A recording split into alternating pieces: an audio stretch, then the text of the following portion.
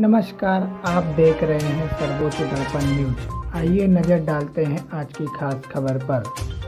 श्री राम निवास मंदिर में श्री 108 जगदेव महाराज की 45 पुण्यतिथि मनाई गई। लोग भोजन कर रहे हैं जैसे लोग आ रहे हैं उनकी अपनी जयपुरी से भोजन कर रहे हैं। जन्म उनका जो है हर वर्ष जो मनाया जाता है।